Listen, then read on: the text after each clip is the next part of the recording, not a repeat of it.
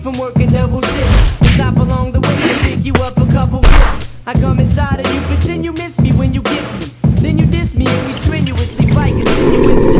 Then you frisk for numbers trying to bust me. It must be only just because you never to trust me. Plus we only squabble over irrelevant issues. Too many tissues for my feelings who miss you. I buy you jewelry, you make a fool of me. I bring you diamond rings, you say I'm bad at timing things. So what's man to do when all I hand to you is the bitch and ain't what first attracted.